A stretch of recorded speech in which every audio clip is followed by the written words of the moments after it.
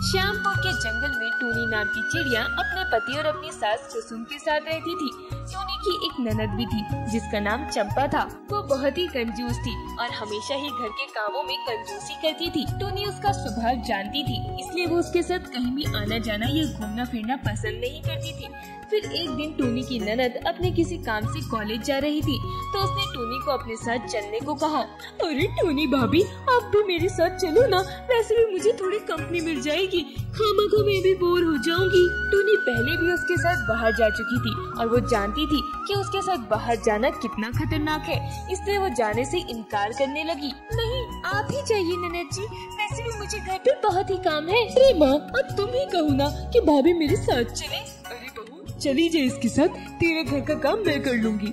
Tony को मजबूरन चंपा के साथ जाना पड़ता है। टोनी को मजबूरन चंपा के साथ जाना पड़ा और वो जैसे ही ऑटो लेने लगी तो चंपा ने उससे कहा, अरे क्या भाभी, आप भी बीस रूपए बर्बाद कर रही हो। वैसे भी कॉलेज कहाँ दूर है? यही तो है बस पाँच किलोमीटर दूर। और वहाँ तक तो हम यूँ ही टहलते टहलते पहुँच जाएँगे। इसी बहाने हमारी जॉगिंग भी हो जाएगी। तभी टोनी मुस्कुरा देती है और मन ही मन कहती है बस इसीलिए मैं इसके साथ नहीं आती। कंजूस कहेगी खुद तो पैदल चलकर मरेगी ही और मुझे भी मरवा देगी। ऐसे ही कॉलेज से आने के बाद वो एक सूट की दुकान पर आ जाती है। चलो ना भाभी कुछ खरीदते हैं। हाँ हाँ चलो ना। इसके बाद वो दुकानदार उन्हें कुछ सूट दिखाता है। देखिए मैडम एक नंबर का सूट है और अभी ही नया आया है मार्केट में। कितने का है?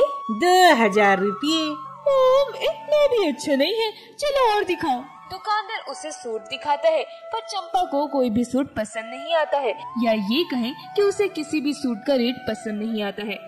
अरे बहन जी, कब से मैं आपको सूट दिखाए जा रहा हूँ, और आपको अभी तक कोई भी सूट पसंद नहीं आया। जल्दी कीजिए, और भी पक्षी लाइन में हैं।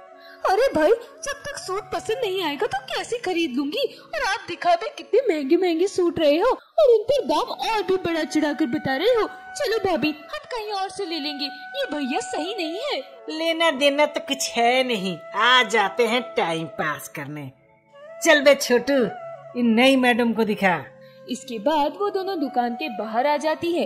टूनी को बहुत ज़ोर ज़ोर टोनी को बहुत ज़ोर से प्यास लग रही थी इसलिए उसने गन्ने का जूस पीने को बोला। अरे क्या भाभी अभी? ये गन्ने का जूस पी रहे हैं पता है कितने गंदे तरीके से बनाते हैं। नहीं ये लोग जूस। चलो आप घर चलो वहाँ आप सिकंजी बनाकर पी लेना। टोनी का बहुत ही मन था पर उसकी वो कंजूस नंद की वजह से वो जूस तक नहीं पी पाई और उसे फिर से पैदल ही लेकर आ गई। बस इसलिए नहीं आती थी मैं इसके साथ। इसकी कंजूसी की वजह से सब झेलना मुझे ही पड़ता है। इसके बाद वो दोनों घर आ जाती है। टोनी के तो पैरों ने जवाब दे दिया था। उससे अब खड़ा तक नहीं हुआ जा रहा था। तभी उसकी सास आई और उससे पूछने लगी, अरे वाह, हुआ ही तुम दोनों कॉलेज से? हाँ माँ। क्या बात, कुछ लाई नहीं? अरे माँ, मेरा मन तो बहुत था। पर क्या करो? मार्केट में कुछ अच्छा था ही नहीं। तभी उसकी नज़र अपनी भाभी के कमरे में चल रही एसी पर जाती है। अरे माँ, तुमने कमरे में एसी क्यों चालू कर रखी है? अरे वो सोनू अभी कमरे में बैठा हुआ था तो उसी ने चला कर छोड़ दी होगी। अरे माँ, तुम भी ना, तुम्हें पता है कि बिजली का बिल कितना आता है? देखो मैं अभी ही सारी लाइट और पंखे बंद कर देती हूँ, और हम सभी यहाँ बाहर बैठते हैं। इसके बाद चंपा घर की सारी लाइट और पंखे बंद करके टोनी और अपनी माँ को बाहर पेड़ के नीचे आने को कहती है। टोनी की हालत वैसे ही खराब थी और ऊपर से चंपा ने पंखा बंद करके उन्हें बाहर बैठने पर मजबूर कर दिया था। फिर एक दिन टोनी को चक्कर आ गया। फिर एक दिन टोनी को चक्कर आ गए और वो बेहोश हो गई।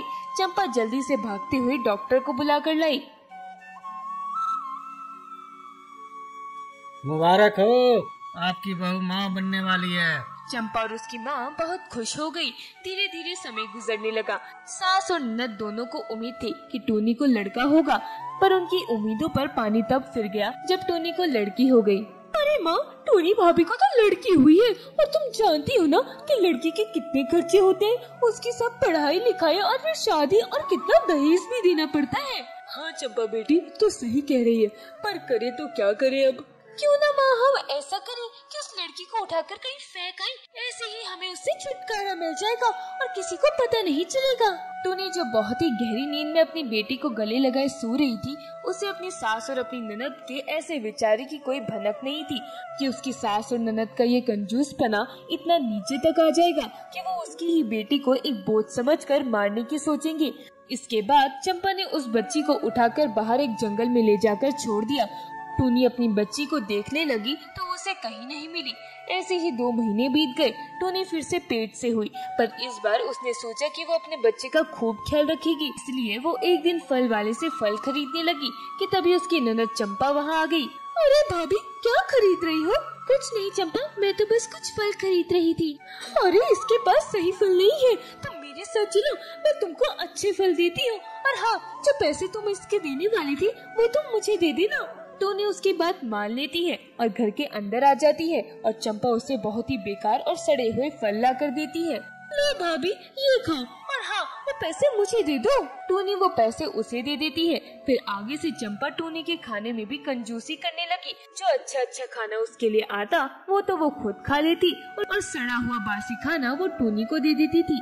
ऐसे ही कुछ महीने बीत गए। टोनी को एक दिन चंपा ने चार दिन बासी रोटी और सब्ज़ी खिला दी, जिस कारण टोनी को दस्त लग गए और वो कमज़ोर हो गई और चक्कर खाकर सीढ़ियों से गिर गई, जिस कारण उसका बच्चा मर गया।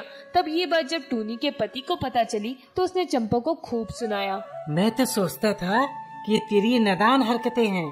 और तू धीरे धीरे समझ जाएगी। पर मुझे नहीं पता था कि तेरी इस कंजूसी की कीमत हमें ऐसे चुकानी होगी। आज तुम्हारी वजह से टूनी की हाल है। चंपा को अपनी गलती का एहसास होता है और वो अपने भाई से माफ़ी मांगती है और आगे से ऐसा कुछ नहीं करने की कसम खाने लगी और आगे से ऐसा कुछ नहीं करने की कसम खाती है।